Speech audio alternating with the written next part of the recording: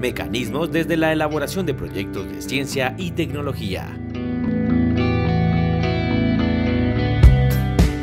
Hola a todos, bienvenidos a este video en que se presentan las principales características de los centros de ciencia a la luz de la guía de evaluación de proyectos formulada por Conciencias en el año 2015. En primer lugar, es necesario hacer una gran pregunta. ¿Qué son los centros de ciencia?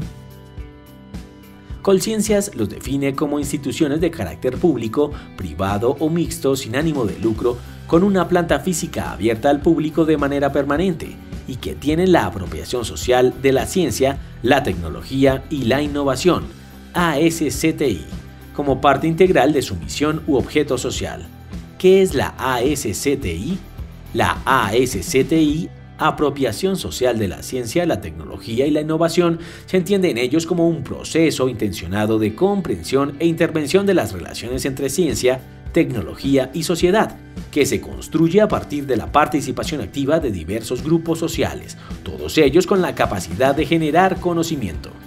¿Cuáles son las líneas de acción de la ASCTI? Participación ciudadana, buscando que el ciudadano se sienta cogestor y corresponsable de los desarrollos científico-tecnológicos que pueden tener implicaciones e impactos en su contexto local y regional. Comunicación, diseño de estrategias de comunicación que favorezcan el diálogo reflexivo, contextualizado y crítico para la comprensión y la formación de opinión sobre las relaciones entre ciencia, tecnología y sociedad. Intercambio de conocimientos, diseño e implementación de metodologías que propicien el intercambio de conocimientos científico-tecnológicos con otros saberes y experiencias para su efectiva integración a contextos locales. Gestión del conocimiento.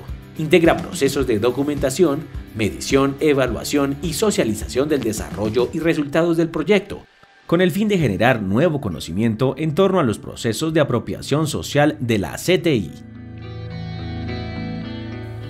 En definitiva, un centro de ciencia está al servicio de la comunidad y propicia la interacción física, la interacción mental y la interacción emocional con el fin de favorecer la apropiación social de la ciencia, la tecnología y la innovación en distintas comunidades. Los centros de ciencia, a su vez, proporcionan experiencias memorables y estimulan la curiosidad y la imaginación. Asimismo, permiten que los ciudadanos se conecten de un modo más directo e inmediato con la ciencia, la tecnología y la innovación.